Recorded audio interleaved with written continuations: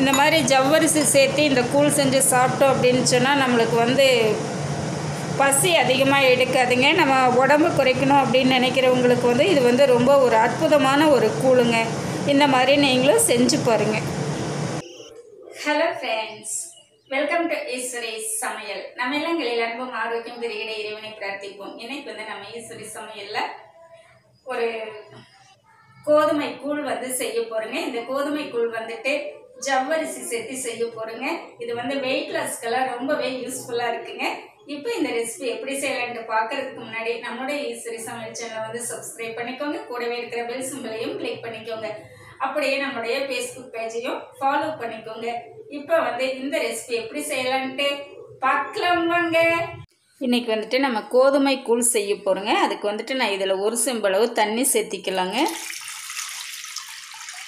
தண்ணி எடுத்து வச்சிட்டேங்க. இது வந்து தண்ணி வந்து கொதிக்கட்டுங்க. ஐம்பது கிராம் அளவு கோதுமை மாவு எடுத்துக்கலாங்க. மாவு வந்து கொஞ்சம் கொஞ்சமாக தண்ணி விட்டு நல்லா கட்டி இல்லாமல் கலந்துக்கலாங்க. கலந்து வச்சிட்டோம்னா தண்ணி கொதிச்சோடனே சேர்த்திக்கலாங்க. அப்படியே மாவு சேர்த்தணும் அப்படின்னா எல்லாமே கட்டிகளாக ஆகிடுங்க நம்ம நல்லா இந்த அளவுக்கு கட்டி இல்லாமல் நல்லா கலந்து வச்சிடலாங்க தண்ணி வந்து நல்லா கொதிக்க ஆரம்பிச்சிருச்சுங்க. இந்த டைமில் வந்து நம்ம அடுப்பு வந்து குறைச்சி வச்சுக்கலாங்க. குறைச்சி வச்சுட்டு நம்ம கோதுமை வந்து கொஞ்சம் கொஞ்சமாக ஊற்றி கலந்து விட்டுக்கலாங்க. இந்த மாதிரி விட்டு கலந்துக்கலாம். இல்லைன்னா கட்டி ஆகிடுங்க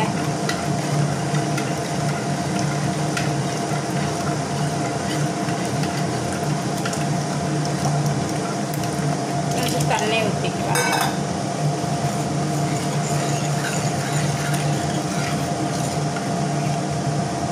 நம்ம மாவு கலந்ததுக்கப்புறம் நம்மளுக்கு இந்த அளவுக்கு இன்னும் கொஞ்சமாக தண்ணி விட்டுக்கலாங்க பார்த்தீங்களா? இந்த அளவுக்கு தண்ணி விட்டுட்டிங்கன்னா தான் நம்மளுக்கு கொதித்து வரும்போது கரெக்டாக இருக்கும் பாருங்கள் மாவு சேர்த்துனதுக்கப்புறம் நல்லா கொதி வர வரைக்கும் நம்ம கைவிடாமல் கொஞ்சம் கலந்து விட்டுட்டு இருக்கணுங்க. இல்லைன்னா அடியில் வந்து அப்படியே அடி பிடிச்ச மாதிரி நின்றுக்கும் இப்போ நல்லா பப்புள்ஸ் வர ஆரம்பிச்சிடுச்சுங்க. டைமில் வந்து அடுப்பை கொஞ்சம் குறைச்சிட்டுங்க.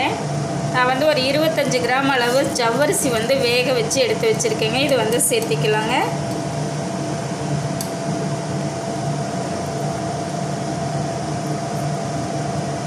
இது வந்து நல்லா கலந்து விட்டுடலாங்க இந்த ஜவ்வரிசி சேர்த்து நம்ம சாப்பிட்றதுக்கு வந்து அவ்வளோ நல்லா இருக்குங்க. இந்த ஜவ்வரிசி சேர்த்தும் போது உடம்பு வந்து நல்லா குளிர்ச்சியாகும் இந்த கூழை எடுத்துக்கும் போது ஸ்பூன் கல்லுப்பு சேர்த்திக்கலாம். இப்போ நல்லா கலந்து விட்டுறலைங்க. ஏற்கனவே நல்லா தளதளன்னு கொதிக்கும் போது தான் நம்ம வந்து ஜவ்வரிசி சேர்த்துனோங்க. இப்போ இந்த மாதிரி ஒரு ரெண்டு நிமிஷம் இந்த அளவுக்கு நல்லா தலதலன்னு கொதிச்சதுனால நம்மளுக்கு நல்லா கோதுமை மாவு வந்து வெந்துடுங்க. இந்த மாதிரி இருந்ததுனால தான் நம்மளுக்கு சாப்பிட்றதுக்கும் நல்லாயிருக்கும். அப்படியே அந்த கூழ் பக்குவத்தில் இருக்குது பாருங்க.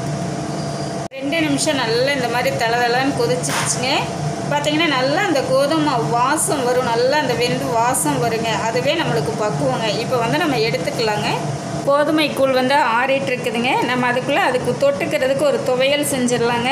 நான் அதில் ஒரு பத்து மிளகாய் ஒரு பதினஞ்சு சின்ன வெங்காயம் இந்த அளவுக்கு புளி எடுத்திருக்கேங்க. எல்லாமே மிக்சி ஜாரில் சேர்த்திக்கலாங்க. ஸ்பூன் உப்பு சேர்த்திக்கலாங்க. நம்ம கிராமங்கள்ல எல்லாம் வந்து நம்ம பாட்டிகள்லாம் பார்த்திங்கன்னா டக்குன்னு ஒரு கூழ் செஞ்சாங்க அப்படின்னு சொன்னால் அது சோளக்கூழாக இருந்தாலும் சரி இல்லை கம்மங்கூழாக இருந்தாலும் சரி அதாவது இந்த மாதிரி ஒரு துவையல் அரைச்சிருவாங்க. இது வந்து தொட்டுட்டு சாப்பிட்றதுக்கு வந்து நல்ல ஒரு காரசாரமாக நல்லா இருக்குங்க. இப்போ வந்து நம்ம நல்லா அரைச்சிட்டு வந்துடலாங்க தண்ணி சேர்த்தாமல் இந்த அளவுக்கு அரைச்சிட்டு அதுக்கப்புறமா கொஞ்சமாக தண்ணி சேர்த்து அரைச்சிட்டு வந்துடலாங்க நல்லா நைஸாக பாருங்க நம்ம சட்னி வந்து இந்த மாதிரி நல்லா அரைச்சி எடுத்துகிட்டு வந்துட்டோங்க. இதுக்கு வந்து ஒரு தாளிப்பு கொடுத்துடலாங்க. ஒரு ஸ்பூன் அளவு நல்லெண்ணெய் விட்டுக்கலாங்க. ஒரு அரை ஸ்பூன் அளவு கடுகு சேர்த்திக்கலாங்க இப்போ வந்து நம்ம தாளிப்பு சேர்த்திக்கலாங்க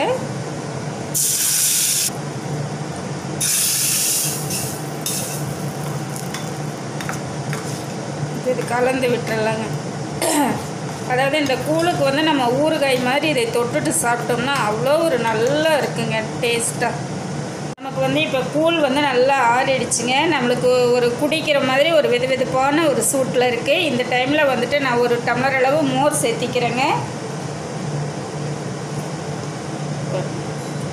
இந்த மோர் சேர்த்திட்டோம்னா குடிக்கிறதுக்கு அவ்வளோ ஒரு டேஸ்ட்டாக இருக்குங்க. நான் செஞ்ச இந்த கோதுமை கூழ் வந்து உங்களுக்கு ரொம்பவே பிடிச்சிருக்கும்னு நினைக்கிறேன். இந்த மெத்தேடில் நீங்களும் செஞ்சு பாருங்க. எப்படி இருக்குன்ட்டு கமெண்ட் பண்ணுங்க. பிடிச்சிருந்தா லைக் பண்ணி ஷேர் பண்ணி நம்ம சரி சமையலை சப்ஸ்கிரைப் பண்ணி கூடவே இருக்கிற பெல் சிம்பிளையும் கிளிக் பண்ணிக்கோங்க. தேங்க்ஸ் ஃபார் வாட்சிங்